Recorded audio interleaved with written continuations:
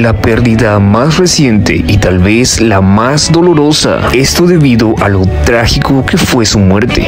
Diego Felipe Berti Brignardello nació en Lima el 2 de noviembre de 1967. En El Fondo y Sitio interpretó a Sergio Estrada, el psicoanalista, pareja de Isabela Picasso. El actor y también cantante murió el 5 de agosto del 2022 tras caer del edificio donde se encontraba su departamento en el piso 14, falleciendo a los tan solo 54 años de edad.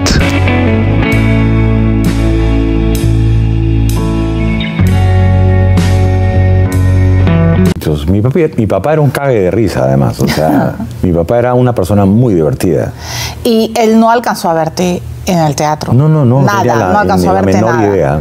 Ni la menor idea de lo que La iba a idea. hacer su hijo. Lo último que hablé con él, digamos, serio, fue la noche de Navidad, porque él murió el, un 20 eh, o sea, el, el- el accidente ocurrió un 25 de diciembre. El 24 íbamos hacia la, veníamos de la casa de mi abuela paterna a, la- a mi abuela materna que vivía al lado de mi casa.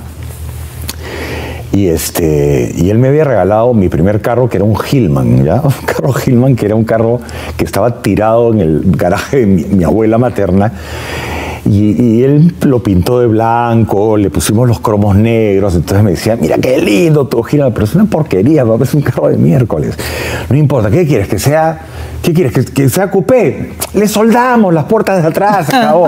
¿Qué quieres? Que tenga, que tenga sunroof. Con un abrelatas la abrimos. Así era mi papá, ¿ya? Entonces estaba el carro ahí, pero no me dejaba usarlo porque no tenía brevete. Entonces yo jodía, que jodía. Papá, por favor, déjame usar el carro. ¿Por qué no me dejas usar el carro? ¿No confías en mí? Y en ese momento él me dijo, tú no sabes cuánto confío en ti. Y al día siguiente pasó esto. Y yo me quedo con eso.